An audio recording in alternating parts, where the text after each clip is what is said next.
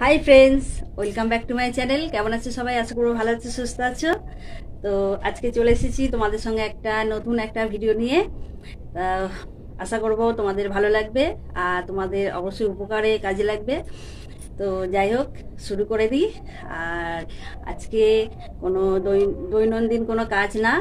আজকে হবে আমার ছাদের উপরে কীভাবে আমি এই ধনেপাতা আহ, চাষ করে মাত্র পাঁচ টাকার গোটা ধনে কিনে কীভাবে আমি ছাদের উপরে চাষ করে থাকি সেটাই তোমাদের সঙ্গে একটু শেয়ার করে নেব।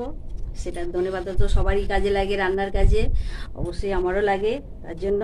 আর নিজে হাতে যদি ঘরে বসিয়ে চাষ করে এটা খাওয়া যায়, আরও অনেক অনেক মজার, তাই না? তো সেটাই তোমাদের সঙ্গে শেয়ার করব। আর এই যে নিশ্চয়ই তোমাদের ঘরে এগুলো থাকে, এটা গোটা ধনে। তো হাজবেন্ডকে বলেছিলাম এনে দিতে, তো এনে দিয়েছে, একটা প্যাকেটই আমার অনেক হয়ে যাবে, যথেষ্ট। এটা অনেকটাই আছে, এটা পাঁচ টাকা নিয়েছে। তো এইটা দিয়ে আমি কীভাবে আমি ধনেপাতা ঘরে বসিয়ে আমি আমার রান্নার কাজে ব্যবহার করতে পারি, তো সেটাই তোমাদের সঙ্গে আজকে শেয়ার করব। তো দেখতে থাকো, আর বিশেষ কিছু লাগবে না, একটু মাটি লাগবে। আর আমাদের একটা পাঁচ লিটারের বোতল ছিল, জলের দাম ছিল, সেটা নষ্ট হয়ে গেছিল। হাজবেন্ড ওটাকে দুভাগ করে কেটে দিয়েছে, বলেছিলাম। একদম দুটো ভাগ করে নিয়েছি, তার মধ্যে মাটি দেব দিয়ে, আর এই গোটা ধনেটা আমি চার পাঁচ ঘণ্টা ভিজিয়ে রাখব। তারপরে চার পাঁচ ঘণ্টা ভিজিয়ে রাখার পরে তার মধ্যে আমার মাটিটা রেডি করে নেব আমি বোতলের মধ্যে। যে যাতে দিতে পারে, সমস্যা নেই। তো আমার ঘরে ডাম ছিল, আমি কেটে নিয়েছি, বা ডাম যেটা আমার লাগবে না, সেটাতেই আমি বসাবো। তো দেখতে থাকো, সঙ্গে থাকো। তো এখানে দেখো, আমি একটা টিফিন বক্স নিয়ে নিয়েছি, তার মধ্যে। আর এই দেখো, এই যে গোটা ধনের প্যাকেটটা আমি কেটে নিয়েছি কাঁচি দিয়ে দিয়ে এর মধ্যে আমি সবটা ঢেলে দিলাম। আর এই কিছুটা পড়ে গিয়েছে, সেটাও তুলে দিচ্ছি। তো এর মধ্যে আমি নর্মাল জল দিয়ে ভিজিয়ে দিলাম। এটা আমি চার থেকে পাঁচ ঘণ্টা ভিজিয়ে রেখে দেবো। তার মধ্যে আমি মাটিটা রেডি করে রেখে দেবো। তো আমি যখন রেডি মাটিটা রেডি করব, তখন অবশ্যই দেখাবো। তো দেখতে থাকো আর সঙ্গে থাকো। আর এখানে দেখো, এই যে আমি ডামটা কেটে নিয়েছিলাম, আমার হাজব্যান্ড কেটে দিয়েছিল বলেছিলাম। এই যে ডামটাকে আমি দুটো ভাগ করে নিয়েছি। এবার এর মধ্যে আমি এখন মাটি ভরে নেব। আর দেখো, এই যে ব্যাগের ভিতরে মাটি আছে হাজব্যান্ড এনে দিয়েছিল মাটি। তো এই মাটিটা আমি ওই ডামের মধ্যে আমি ভরে নিয়ে তারপরে ফিরে আসছি তোমাদের সঙ্গে। তাহলে দেখো, আমি এই দুটো জায়গার মধ্যে মাটিগুলো ভরে নিয়েছি। এবারে পরের স্টেপটা আবার দেখাচ্ছি আমি। আর এই যে গোটা ধনেটা আমি ভিজে রেখে রেখেছিলাম, চার পাঁচ ঘণ্টা আমার হয়ে গেছে। এইগুলো, দেখছ কালারটা একদম জলের কালারটা চেঞ্জ হয়ে গিয়েছে একদম।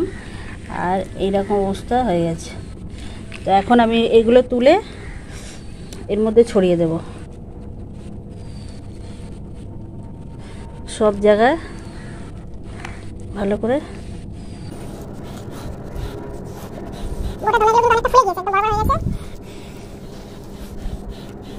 ছড়িয়ে দিলাম সব জায়গায়।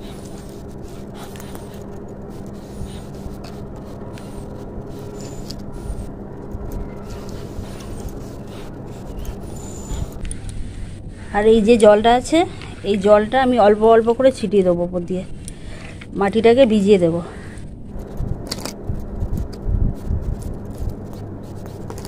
আর এবারে এর উপর দিয়ে অল্প অল্প একটু মাটি অল্প একটু দিয়ে দেব।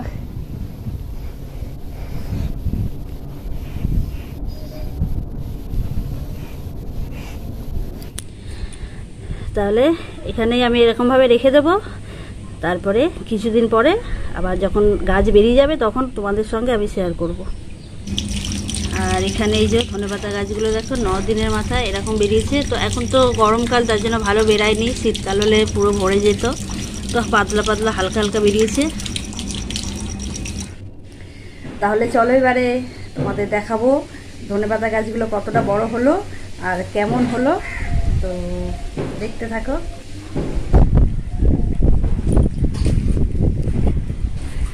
তো দেখছ বৃষ্টি হয়েছে। আর এই যে লুকটা, দেখো। দেখছ কতটা ঘন হয়ে গেছে? আর এইটার মধ্যে অনেকটাই হয়েছে। তো আমার তো মাছের ঝোল বা পকোড়া খাওয়ার জন্য তো আমার হয়েই গেছে। তো দেখছ কত সুন্দর হয়েছে? তোমরাও এইভাবে বানিয়ে নিতে পারো। টাটকা নিজে হাতে বানানো, কত সুন্দর হয়েছে দেখো। হাত দিয়েও ভালো লাগছে। তাহলে দেখলে তোমরা আমি কীভাবে আমার ছাদের মধ্যে ধনে পাতা বসিয়ে নিজের কাজে, রান্নার কাজে ব্যবহার করতে পারব খুব সহজেই। তো বললাম, মাছের ঝোল, কষা কষা আলুর দমে ধনে পাতা দিয়ে ধনে পাতার পকোড়া খুবই ভালো লাগবে। একদম নিজে হাতে টাটকা ধনে পাতা বসিয়ে সেই যদি গাছ থেকে তুলে এনে সেটাকে রান্না করা হয়, কত ভালো লাগবে বলো তো? তো সেটাই আমি করেছি। আর আমি, আমার যতটা হয়েছে তো আমি কিন্তু গোড়া থেকে তুলব না। আর কিছুটা যখনই আমার প্রয়োজন হবে আমি ততটা নিয়ে নেব, ডগ কেটে নিয়ে নেব। আবার ওই ব্রাঞ্চ থেকে আবার ওখান দিয়ে কিন্তু আবার বেরিয়ে যাবে। তাহলে কিন্তু আমার আর বারে বারে ধনেপাতা কিনতে হবে না। ওইখান থেকেই আমার অনেক দিন চলে যাবে। তাহলে তোমরাও এই সহজ পদ্ধতিটা অবলম্বন করতেই পারো। তো একবার করে দেখো, দেখবে নিজের মনটাও ভালো লাগবে যে নিজে হাতে গাছ বসিয়ে সেই গাছ যদি নিজের রান্নার কাজে লাগাতে পারো, তো কতটা মনে আনন্দ হবে আর শান্তি হবে দেখবে। তাহলে ঠিক আছে, তোমাদের এই ভিডিওটা কেমন লাগল অবশ্যই কিন্তু আমাকে কমেন্টে জানাবে। আর নতুন বন্ধু হয়ে থাকলে লাইক, কমেন্ট শেয়ার করে পাশে থাকবে। তাহলে আজকের মতো। টাটা। অন্য আর একটা ভিডিও আবার দেখা হবে। তো সব আছে পিছনে টাটা বলে দিয়েছে।